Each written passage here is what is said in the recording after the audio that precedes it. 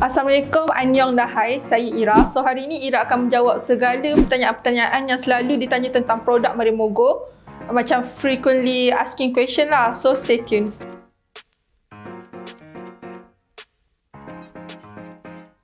Okey, produk-produk Marimogo boleh didapatkan di www.marimogo.co dan juga Shopee di Marimogo Shop kami.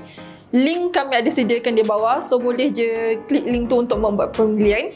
Segala pertanyaan tentang macam mana cara bayar, tentang produk, apa semua boleh uh, WhatsApp ke sales kami Anis. Nombor telefon juga kami sediakan di bawah.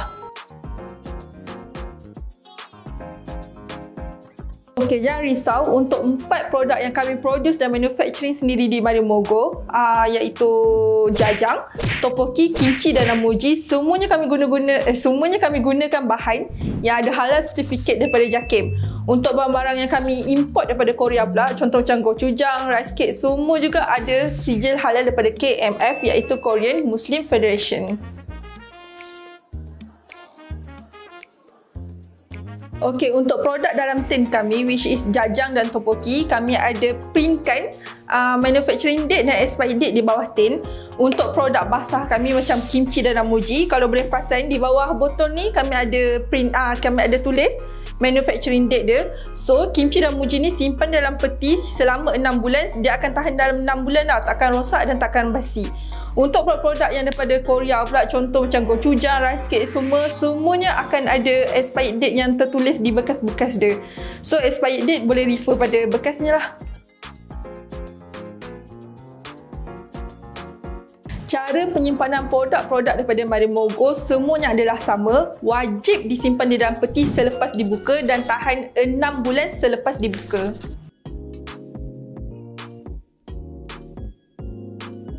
Kami telah menyediakan banyak resepi-resepi yang boleh dimasak menggunakan produk-produk Marimogo dalam bentuk video yang boleh didapatkan di Telegram kami Resepi Korean Food dan juga YouTube kami Marimogo. Search je.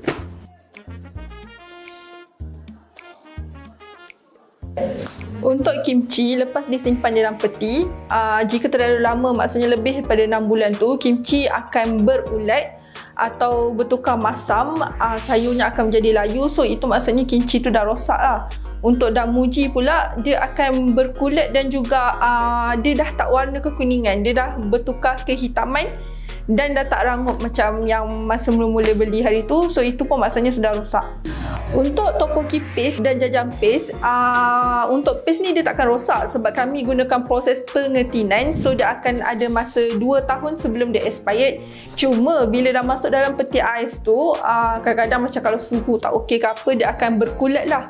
Bila berkulat tu tu maksudnya dah tak okey juga. Walaupun uh, tari luputnya lama lagi. Kalau macam tu tak dinasihat, tak dinasihatkan untuk makan lah untuk barang-barang yang kami import daripada Korea juga sama ada tarikh luput di pack tu. Uh, sama ada rice cake ke gochujang so boleh refer je pada tarikh luput tu. Uh, tak pun samalah pada kes dengan uh, topoki dan jajang tadi. Gochujang tu kalau ada kulit ke atau rice cake tu macam dah bertumpuk berlendir tu maksudnya dah tak boleh makan dah. Untuk penerangan lebih lanjut boleh klik je link kat bawah. Ada lebih uh, penerangan lah tentang macam mana nak discover barang-barang tu dah rosak atau belum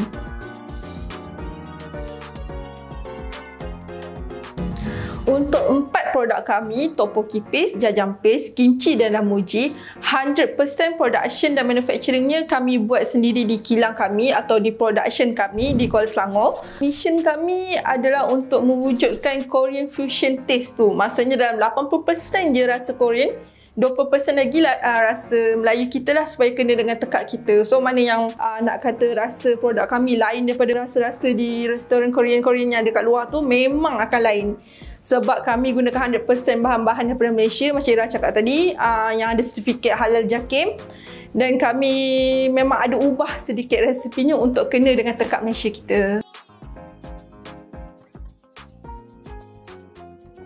Okey, bagi customer-customer yang telah menerima salah item, maksudnya salah pada order, terkurang barang ke, barang uh, tumpah ke, pecah, kemek apa semua, boleh WhatsApp kepada Ira. So, semua kesilapan-kesilapan tu kami akan cuba sedaya upaya untuk pembetulkan. Solution-solutionnya Ira akan beri. Jangan malu-malu WhatsApp Ira, nombor ada di bawah. WhatsApp jangan malu-malu.